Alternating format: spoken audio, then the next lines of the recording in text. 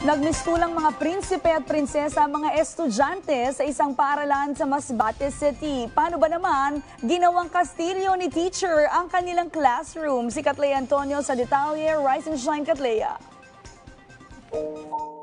Mas lalong gaganahan ang mga mag-aaral sa nursery elementary schools sa Masbate City dahil ang kanilang classroom mala Castillo. Kaya naman achieve na achieve ang mala prinsesa at prinsipe feels. Kung sino ang nasa likod nito, ating kilalanin. Hi! I'm teacher Wright from Nursery Elementary School. Welcome to my Kinder Magical Palace.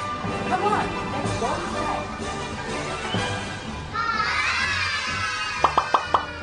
inside. Pangpasok pa lamang ng pintuan, mala Castillo talaga ang entrada. Kwento ni teacher Rodora Alba, nagsimula ang Castle Team sa kanyang reading corner.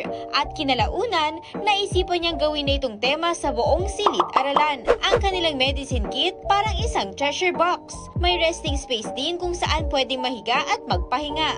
At syempre, hindi mawawala ang hand washing area. Meron ding tindahan kung saan maaaring bumili ng pagkain. May reading corner na ginawang maliit na palasyo. Pwede ring maglaro sa play zone area na meron pang slide. Kwento ni teacher, dahil sa strategy na ito, lalong nainganyo ang kanyang mga estudyante na pumasok ng paaralan. Suot-suot pa nila ang kanilang mga crown.